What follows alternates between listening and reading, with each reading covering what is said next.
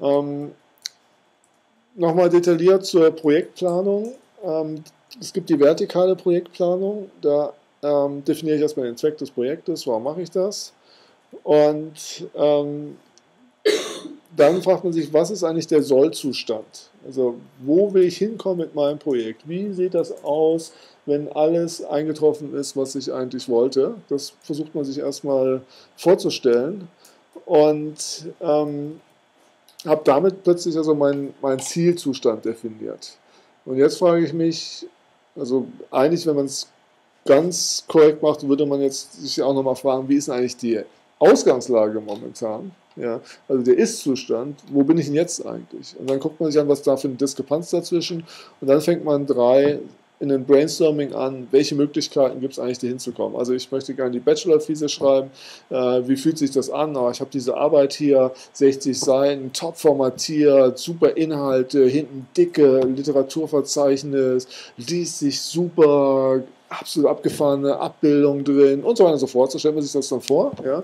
Und neue Erkenntnisse und irgendwie aus dem amerikanischen so Dinge rübergenommen und nochmal so ein bisschen im osteuropäischen Raum geschaut, was da so diskutiert worden ist. Hat man tolle also Vorstellungen. Sagt man, hm, wie komme ich denn jetzt eigentlich dahin? Ja? Wo bin ich denn jetzt eigentlich? Also, ich habe eigentlich überhaupt keine Ahnung, wer was zu diesem Thema bisher geschrieben hat. Ähm, ich weiß eigentlich nur die Fragestellung ich weiß gar nicht, wie viele Leute dazu was geschrieben haben und so weiter und so fort. So, und jetzt sagt man, okay, wie komme ich jetzt eigentlich dahin? Dann sagt man, aha, okay, also wenn ich das alles machen will, dann muss ich eine Literaturrecherche machen, ich muss mich mal damit mit auseinandersetzen, wie formatiere ich eigentlich so eine Arbeit richtig schön. Ähm, so, so, vielleicht weiß ich schon, wie ich sehr gute Abbildungen gestalte, deswegen sage ich, okay, da muss ich eher dann überlegen, wie ich das so visualisiere und so ein bisschen hinschreibe und so weiter und so fort. So sammle ich halt alle Ideen und Möglichkeiten und dann organisiere ich diese Ideen äh, sagt, wer kann mir da vielleicht bei helfen und äh, was brauche ich dafür? Und dann fängt man das an, sich anzuordnen. Und vor allem sagt man dann, okay, was sind jetzt die nächsten Schritte? Also insofern das hier noch mal so ein bisschen eine Hilfe auch für das Episode 1 mit dem Projektmanagement. Ähm, und der Projektmanager würde jetzt sagen, okay, jetzt muss man natürlich noch überlegen, wie lange dauert das, dass man eine Zeitplanung hat und so weiter und so fort. Das macht man beim GTM eigentlich nicht so arg ähm, sondern da, da macht man wirklich, man geht davon aus, dass man alle Schritte möglichst zeiteffizient macht und dann arbeitet man einfach durch und versucht dadurch einfach seinen Output zu eff so effektiv und effizient zu gestalten, sodass man einfach nach vorne kommt und fängt ja nicht an zu sagen, dafür habe ich jetzt zwei Wochen Zeit, sondern man sagt, okay, ich muss das machen und jetzt versuche ich es möglichst effizient und gut zu machen. Und jetzt natürlich die Frage, okay, wie kann ich das, ähm, wie kann ich das machen? Ähm, was gibt es da eigentlich für Werkzeuge? Und ich möchte eigentlich anderthalb vorstellen. Ähm, gehen wir mal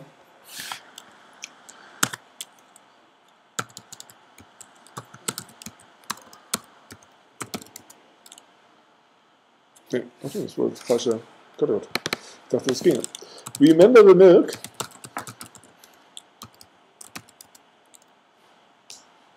So, uh, Remember the Milk ist eine sogenannte Aufgabenliste. Das Schöne bei Remember the Milk ist, dass die, die Basisversion, die eigentlich alle wichtigen Schritte drin hat, ähm, kostenlos ist.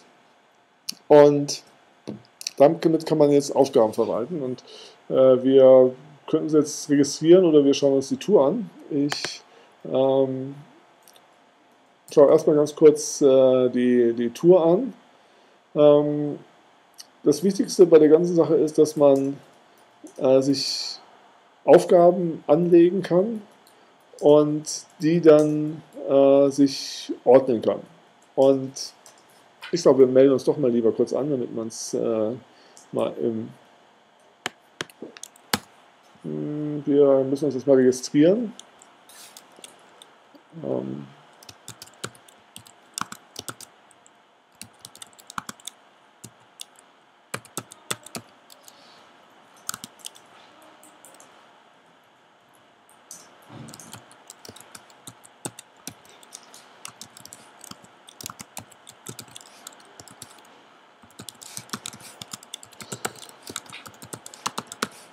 So.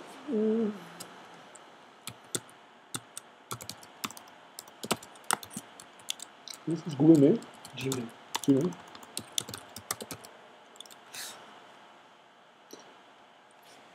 So, jetzt gehen wir uns mal.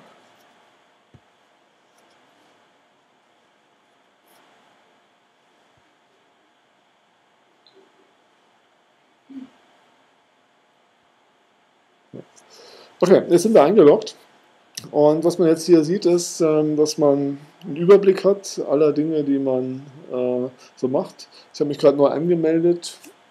Ich habe noch nichts zu tun.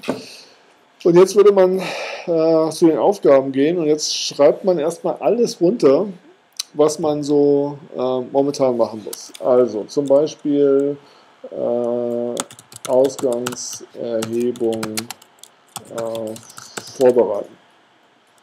Das. Gut, da sieht man, das wird jetzt da unten angegeben. Ähm, Modul D äh, online stellen. Episode 1 Modul D hochladen und die Episode 2 Modul D hochladen und so weiter und so fort. Äh, ich muss natürlich auch für die nächste, die nächste Modul auch die Sachen noch produzieren. Achso, was machen wir hier? Ja? Er versucht gerade das. Ah, okay. Mhm. Hatte so einen kleinen Hänger. Ähm, Modul E vorbereiten. Zum Beispiel. Ja, und so mache ich das jetzt einfach, schreibe alles runter, was mir momentan gerade einfällt. Ich bin natürlich jetzt nur EGS Sim, das heißt, ich mache nur Sachen, die jetzt mir momentan im EGS Sim irgendwie, äh, weil ich habe ja noch meinen eigenen Account natürlich jetzt hier bei Remember the Milk.